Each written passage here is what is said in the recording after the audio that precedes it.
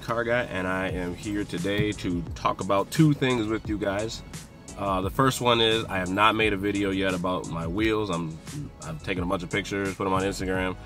Uh, I'm sure I made a video with uh, wheels on the car, but I have not talked about them, so we're gonna do that quickly today, and then get to some exciting Corvette news, or at least I think it's exciting. Let's do it. So as you guys can see, these are aftermarket wheels. These are Grand Sport replica wheels. They are 275 in the front and they are 315s in the back. And as you can see, they're absolutely ridiculously dirty. But um, 315s in the back. Uh, these are Nitto NT555 G2s. They got fantastic reviews. Uh, the prior tires that I had on this car were the Continental Conti Pro Extreme contacts, which I really liked. Uh, but I think that these are a little better grip, partially because they're wider, but also I just think like the tread is just better on these. So I really like these.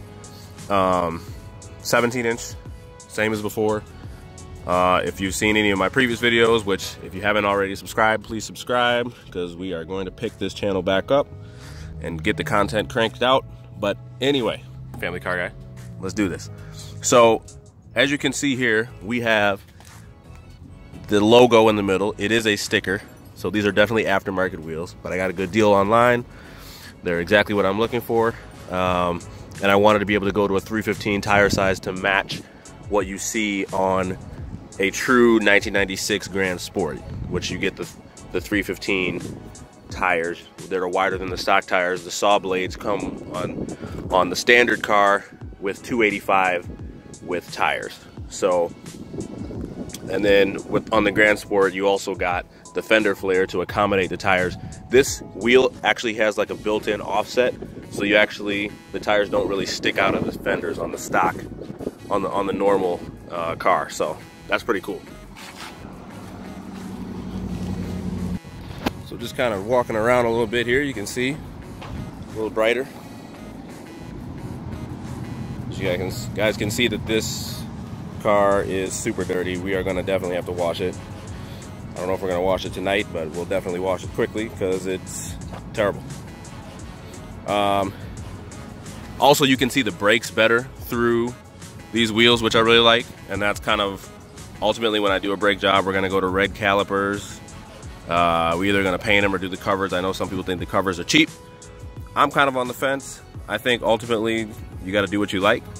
Um, but I'm definitely one way or another they're going to be red. Um, also, the saw blades came with these plastic caps, which they're off the car now, but they basically just screw on top of the lug nuts.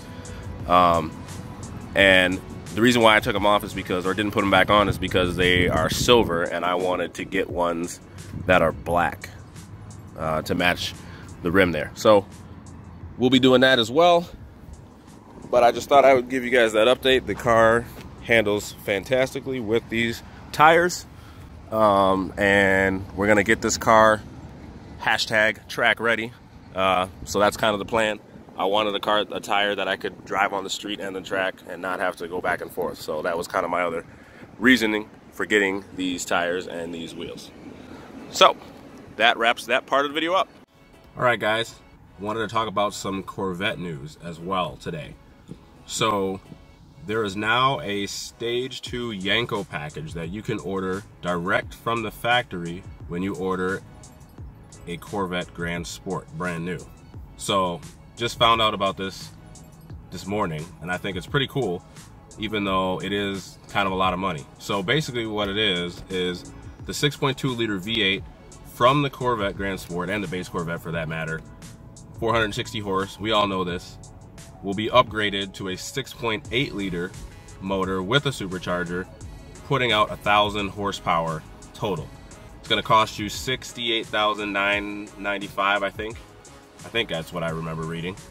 And 77,995 if you go with the automatic version of the Grand Sport. The previous prices for the six speed, or the seven speed manual, I should say. Um, and you can order it as a factory option, which is kind of a throwback to back in the day when uh, you could actually order the, the Camaro. Uh, that's kind of the Yenko name, kind of came to fruition from what I remember um, as a Camaro factory option. Um, back in the early days of, of the Camaro. So anyway, um, I just think that's kind of a, a, a really high price tag when you think about you have to order a Grand Sport first, which is going to cost you 60 to 80 grand, depending upon how you option it out. They recommend if you do the Yenko package that you get the Z07 package, so you get the upgraded brakes, you get the upgraded aero, suspension, etc., etc., etc. So you're spending basically almost 140 grand, which is more than now a ZR1. Now you are getting a thousand horsepower, um, they also have a stage one package that um, is a smaller blower and you get 835 horsepower, much more respectful, of course, right?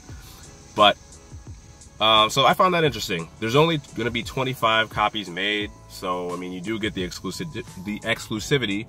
You get the badging, you get the all the cool Yenko lettering and the key fobs and all the decor that you would get for that kind of a package, which I think is pretty cool. But I also think that it's kind of I don't know, it's just a little bit much. I mean, if you like, if you're into that sort of thing, if you're into a kind of a piece of history, I'm sure you're gonna see these things on Craigslist, Craigslist and eBay in the coming years because of the of um, how the limited number of units that they're even gonna put out. So it'll be interesting to see what happens.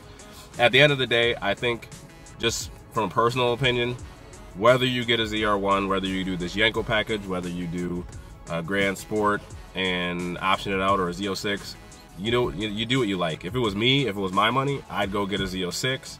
I'd add the cooling. LG Motorsports does a cooling uh, package that kind of makes it look like the ZR1, where you put the the the uh, heat exchangers right up there in the front grill, and it's got the the grill cutouts. It's kind of similar in style to a ZR1. Obviously, it doesn't look nearly nearly the same, but it, in terms of where they're placed, it, that's kind of how it looks. Um, so you have the cooling, and then there are plenty of packages, there are plenty of tuners out there um, that can get your Z06 to match the Yenko horsepower uh, all day, and I think for considerably less money. So especially in the used car market, and that's kind of what my goal is, is eventually to get a C7 Z06 on the used market um, and get the cooling done.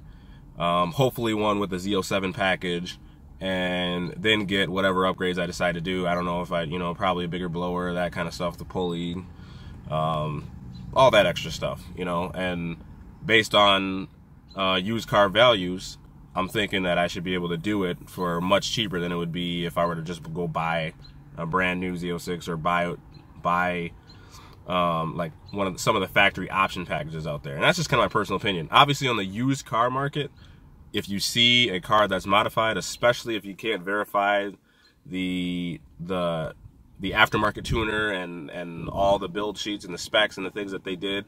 Um, obviously, if you're buying it via Craigslist or eBay or or via dealership, you always got to be wary when people do things themselves. As as we know, we all lose money on modifications, but again, we're doing this because we love it, not because it's it's profitable. So, just kind of my two cents on on the Yenko uh, factory Corvette option now and kind of what I would do if it was my money.